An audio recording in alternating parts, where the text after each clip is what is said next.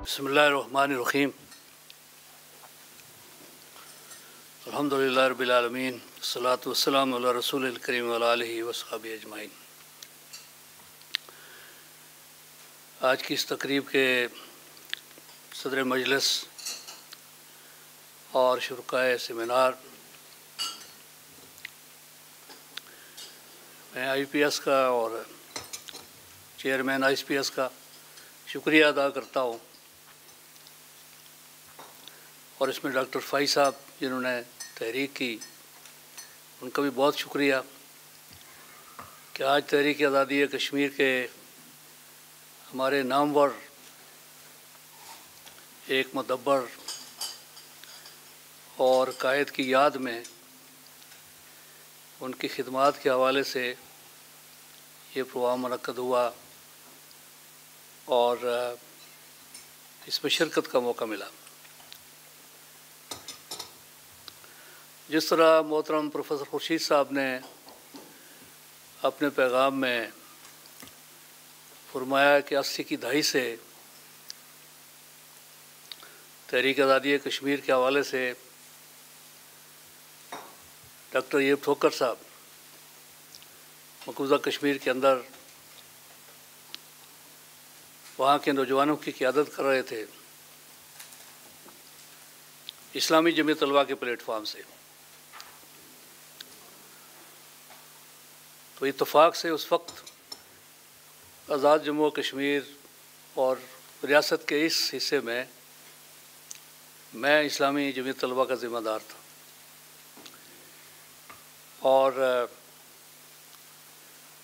मोहतरम प्रोफेसर खुर्शीद साहब अव्वल रोज़ से हमारे रहबर रहे, मेंटोर रहे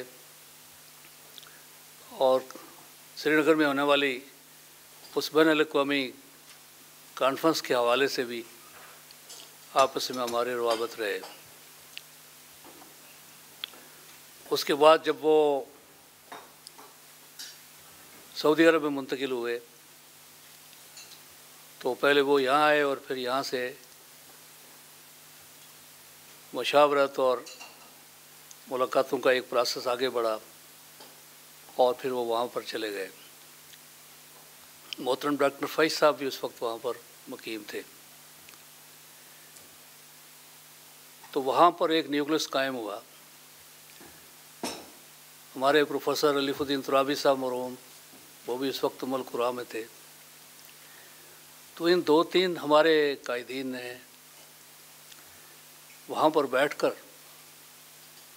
मकबूजा कश्मीर और आज़ाद कश्मीर की और पाकिस्तान के जितने मुतलका तहरीक के कायदीन और ज़िम्मेदारान थे उनको वहाँ पर भी बुलाया और यहाँ पर भी इजलास मकतब उतरे। ये सिलसिला नेपाल में भी रहा, ये बांग्लादेश में भी हुआ। मोहतरम सैद अली गिलानी साहब से हमारी पहली मुलाकात नेपाल में हुई, जो हमारे इन्हीं सोमा ने उसका अहतमाम किया था। तो उस वक्त से लेकर दमे वापसी तक उनसे एक रफाकत का एजाज़ भी रहा। और उनसे हमेशा हमें बड़ी रहनुमाई मिलती रही। और बजा तौर पर यह कहा जा सकता है कि ज़िंदगी का एक एक लम्हा उन्होंने तहरीक आज़ादी कश्मीर के लिए बिलाशुबा तहरीक आज़ादी कश्मीर के भी कायद थे। लेकिन जिस तरह मुजम्मल ने कहा कि उम्मत के जितने मसाइल हैं फ़लस्तीन का मसला है, या रोंगिया मुसलमानों का मसला है, हिंदुस्तान के अंदर मुसलमान जिन मसाइल से दो चार हैं, उनके हवाले से भी उनकी फ़िक्रमंदी, उनके अपने हर लफ्ज़ से झलकती थी, और उसके बारे में ज़ाती तौर पर मुझे मालूम भी है कि वहाँ पर उनको मनज़म करने में और, उनके मसाइल को हल करने में उनके इकदाम भी थे और मुख्तलिफ़ वहाँ की जो क़्यादत की सतह पर की शख्सियात हैं, उनसे ज़ाती उनके रवाबत भी थे। और इस तरह से वो एक नज़रियाती पाकिस्तानी भी थे। पाकिस्तान के साथ मोहब्बत, पाकिस्तान की सलामती और कश्मीर की इस तहरीक को वो पाकिस्तान की तकमील की तहरीक समझते थे। और उम्मत मुस्लिमा की सरबलंदी का एक ज़रिया समझते थे। हमारी इस तहरीक के जो मुख्तलिफ़ मैदान हैं, एक तो मकबूजा रियासत जम्मू कश्मीर है, दूसरा बैन अवी महाज है,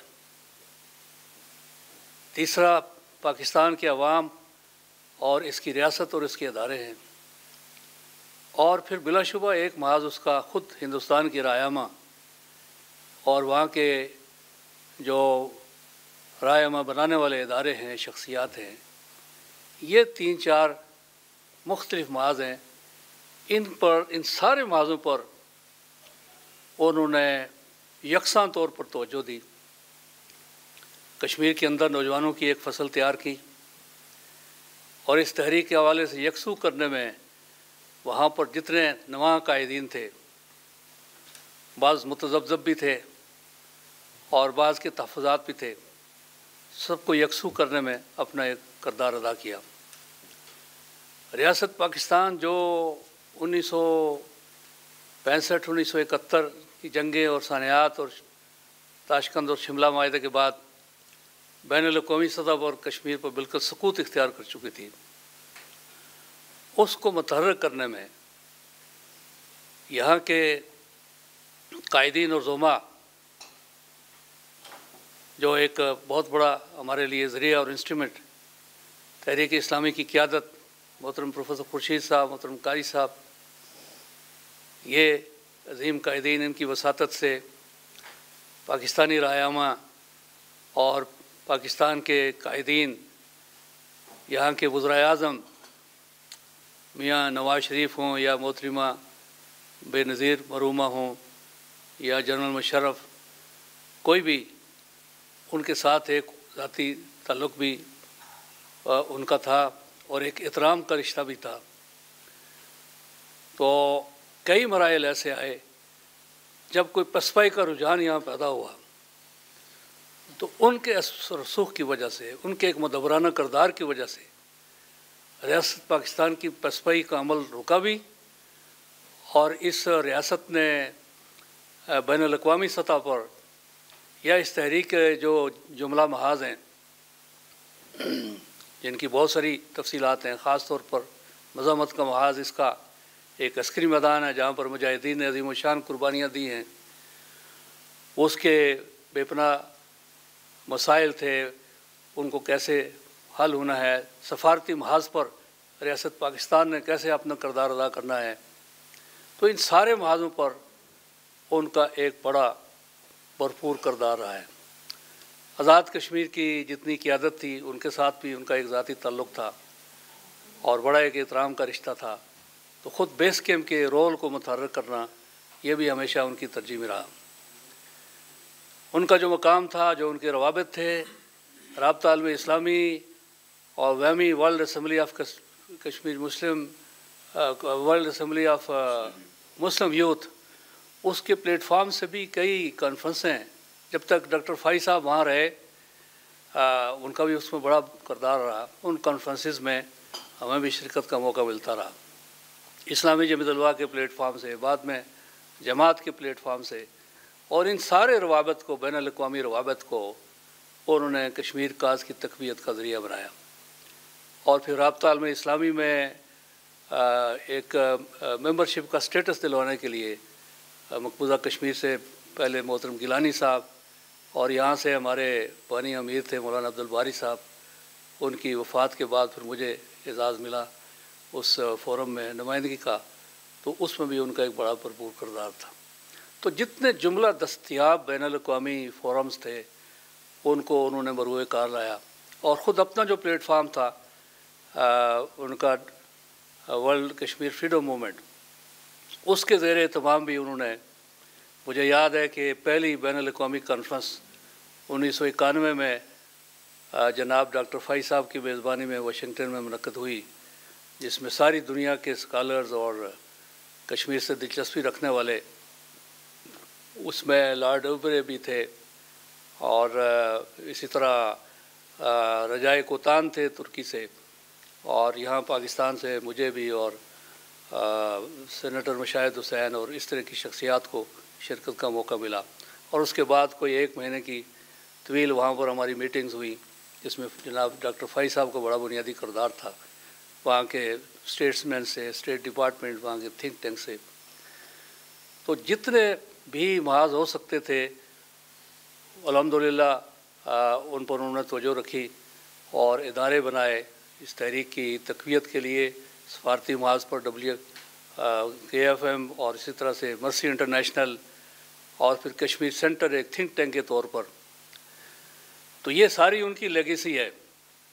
आज भी हमारी तहरीक जिस मकाम पर है और जो चैलेंजेस दरपेश हैं, जिसकी तरफ़ इशारा किया है एडवोकेट नासर कादरी ने कि मोदी के 2019 के इकदाम के बाद जिस तरह से पे दर पे वहाँ पर इस्लामी तशखस और तहरीक आज़ादी कश्मीर की मजामत के सारे मराकज़ उनके निशाने पर हैं। तो इस वक्त हमें डॉक्टर ईव ठाकर की वही, उसी विजन की ज़रूरत है, उसी हमत अमली की ज़रूरत है। और जिस तरह से हमेशा उनका फोकस रहा कि ये तहरीक नौजवानों में मुंतकिल हो, और अल्हम्दुलिल्लाह आज मजम्मल अयूब अल्लाह का शुक्र है कि एक सदका जारिया की हैसियत से उनकी नुमाइंदगी कर रहे हैं।